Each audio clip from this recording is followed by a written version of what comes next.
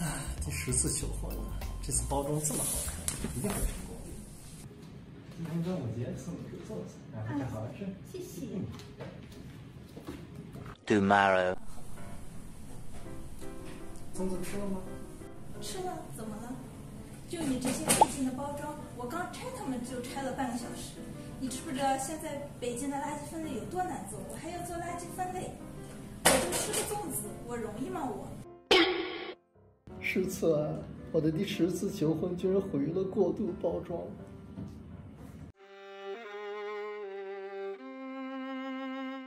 珍爱婚姻，远离过度包装。